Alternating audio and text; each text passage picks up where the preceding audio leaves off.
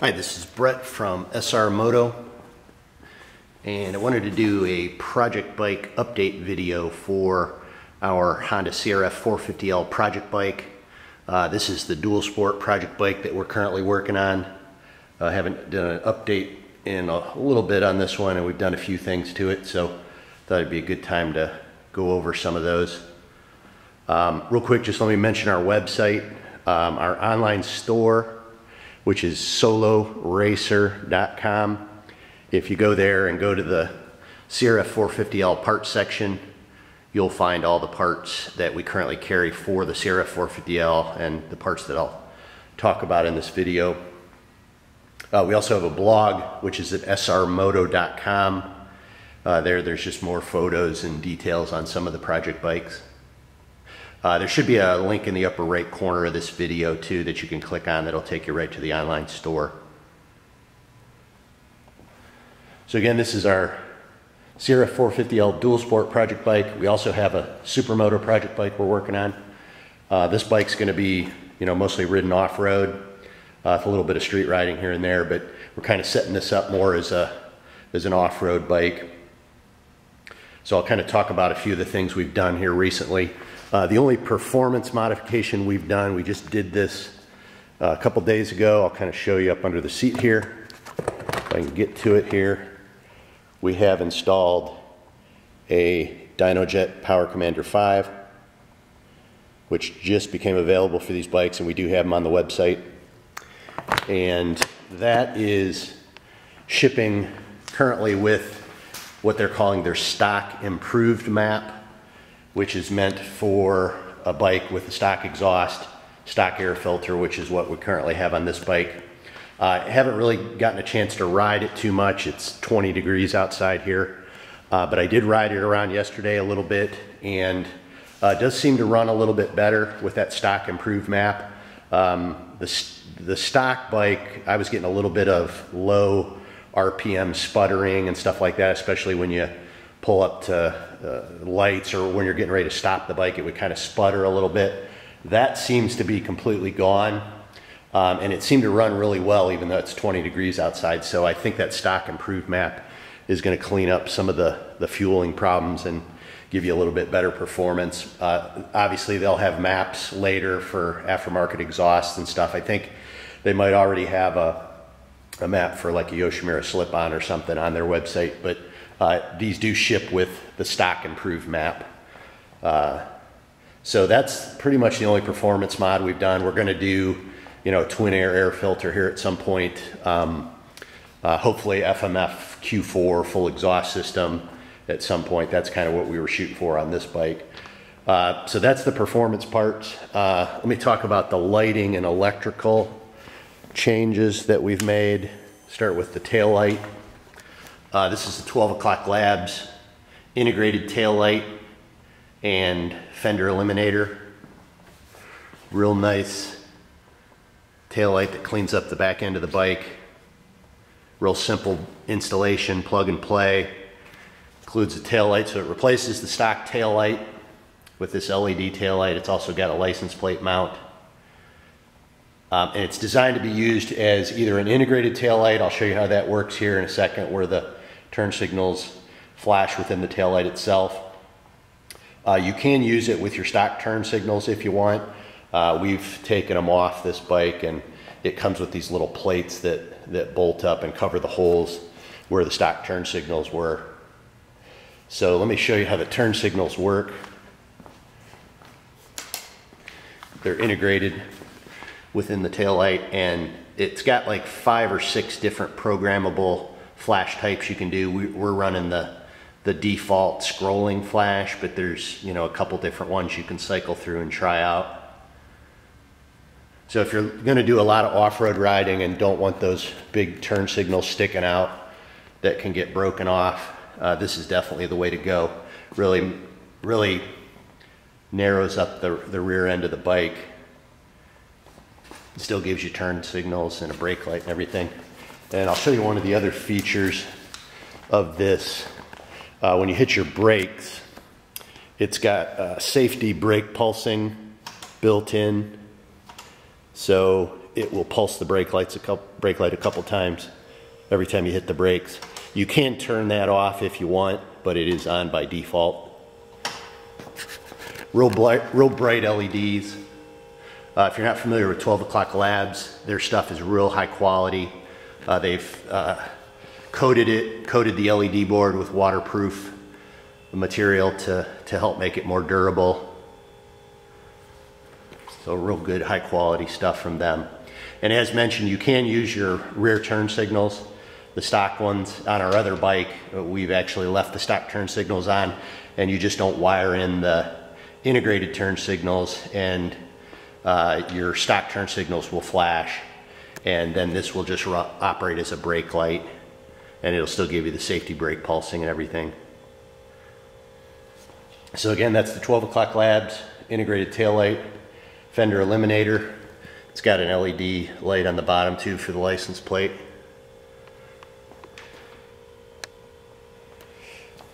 So in the front, what we've done for turn signals, uh, the stock turn signals used to be there, so we've gotten rid of those. And we have our Zeta Armor handguard, Pro Armor handguards installed. I'll talk about those here in a second, but one of the options when you order the handguards is these integrated LED turn signals. So we've installed those.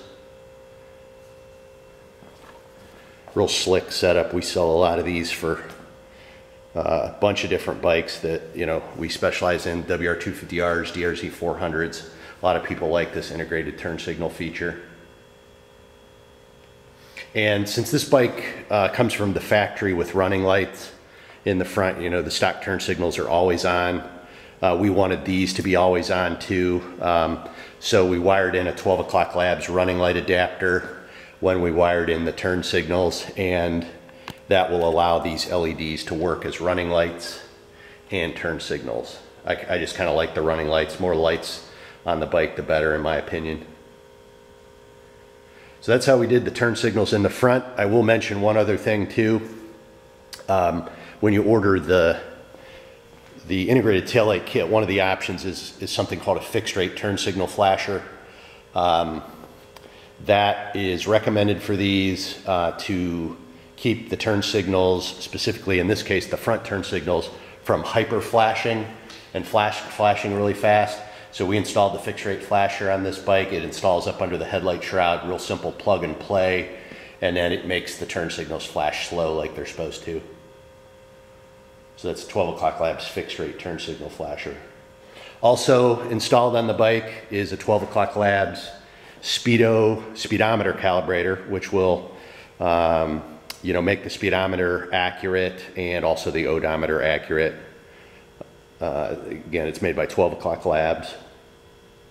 Real simple plug and play device, and then you calibrate it to, to make sure the, everything's working properly and the speedometer, odometer are accurate. So that's it as far as the lighting and electrical equipment. I'll talk about hand, hand guards and handlebars. Earlier I mentioned the Zeta Pro Armor handguards. This is our CRF 450L Pro handguard package, which is the Zeta Pro Armor handguards. On this bike, we've got the titanium silver color installed. I really like the titanium silver on this bike. So that's the aluminum part of it, and it's got the black plastic bumpers attached to the outside. Got a real uh, kind of a beefy insert for the end of the handlebar that kind of locks into the handguard. So that's kind of the main part of the handguard itself. Optionally, you can add on the Zeta XC protectors, the plastic protectors that screw to the front of it. Uh, we've got the Zeta XC protectors in red. Uh, you can get them in a couple different colors, white, black, blue, red, green, you name it. Um, they're also available in a, a, Zeta XC Pro protector, which is just a slightly larger plastic protector, same basic shape, but just a little bit bigger. Uh, those you can only get in white or black. And then, as mentioned earlier, the optional integrated LED turn signals uh, we added on. You can order those if you want them and, and get rid of the, the big stock turn signals. So that's the hand guards. Again, it's the CRF 450L Pro handguard package. As far as handlebars go, uh, we have replaced the stock 7 8 inch Renthals uh, with Pro Taper Contours, which are 1 and an 8 inch handlebars, and we went with the CR High Bend on this bike, and we used the Pro Taper Universal Rubber handlebar mounts uh, to mount these.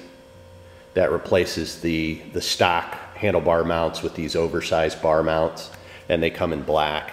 Uh, sits a little bit higher than stock. This, this setup right here is maybe half inch to three quarters of an inch taller than the stock bars, which I kind of like. I wanted a little bit taller bar.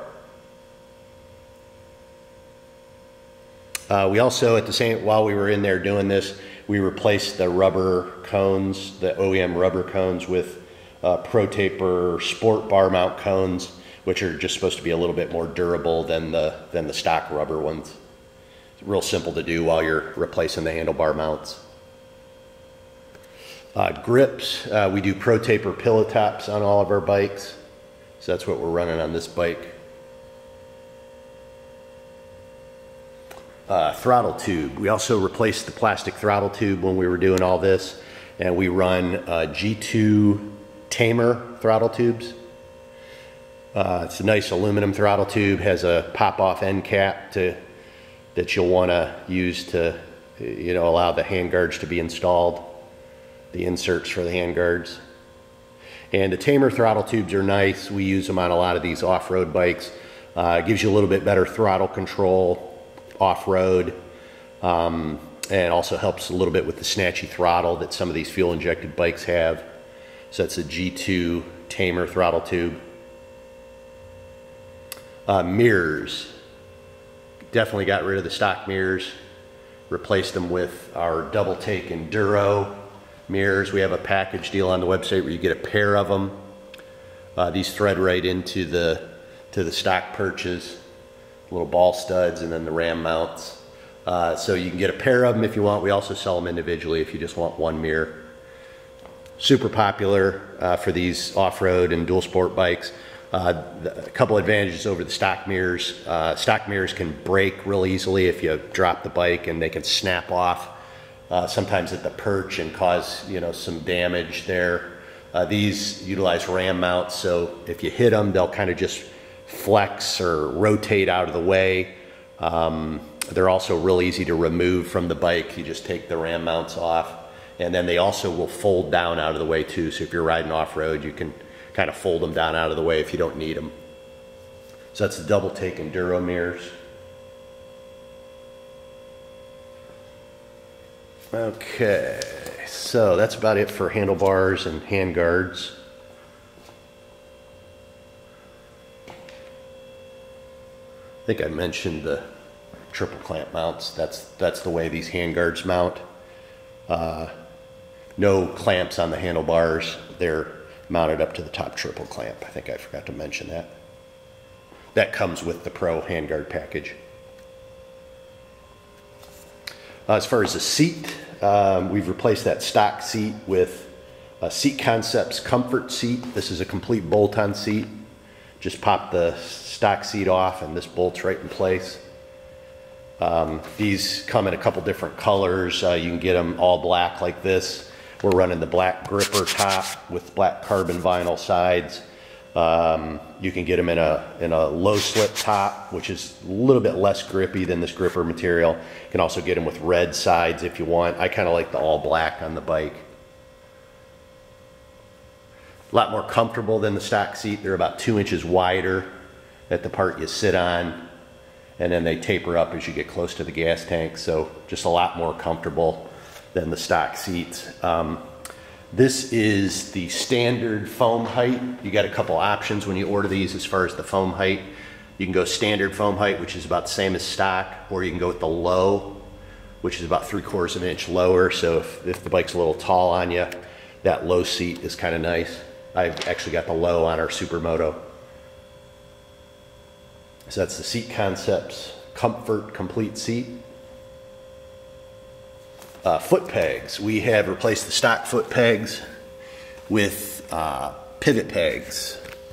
Uh, the guy that's going to do most of the riding on this bike, he uses these pivot pegs on all his bikes, so that's what we're going with on this one. Uh, I think these will be nice on this bike. Um, I've had some complaints from people about being able to get their feet under the shift lever and stuff. The nice thing about these pivot pegs is they rotate with your feet, so you can actually kind of rotate the peg down and get your foot down at a better angle to get under the shift lever. Um, so that's why they're called pivot pegs, you know, obviously. Um, a lot of guys swear by these, uh, so something to consider. Uh, real nice width to them. They're like 60 millimeter width, so they're a little bit wider than the stock pegs. They're rebuildable, um, serviceable, just a real nice foot peg. So that's the pivot pegs. Comes with all the hardware to mount them. They, they have their own springs, so you don't reuse your stock foot peg springs. Uh, let's see, protective stuff or just stuff on the body in general. Flatland Racing skid plate, aluminum skid plate. These have been real popular. Does a real nice job of protecting the frame and the the sides of the engine. Made out of aluminum, has an oil drain plug hole in the bottom so you can drain your oil without taking it off, although we usually take it off. It's pretty simple to get off the bike. Uh, uses uh, stock mounting points in the front. And in the rear, it's got its kind of own little bracket that they use to bolt it up in the rear does a good job of covering the water pump. So that's the Flatland Racing skid plate.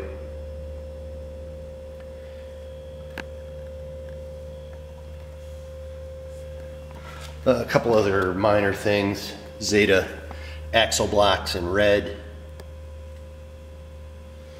At some point, Zeta will have a red billet kit, I'm sure, for these bikes, which will basically be a bunch of red billet parts. So for now, we just did the axle blocks in red. Clutch cable guide from Zeta also in red. Zeta rear brake clevis in red. Uh, TM Design Works rear caliper cover in black. Get these in red as well. It's just a lot stronger than that stock piece.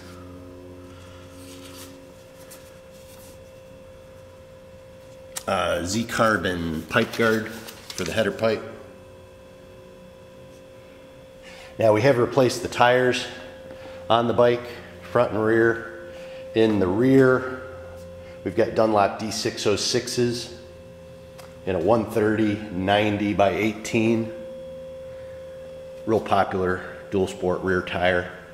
We're running Michelin tubes and we did put rim locks on it. In the front, Pirelli MT21 in a 90-90 21 size.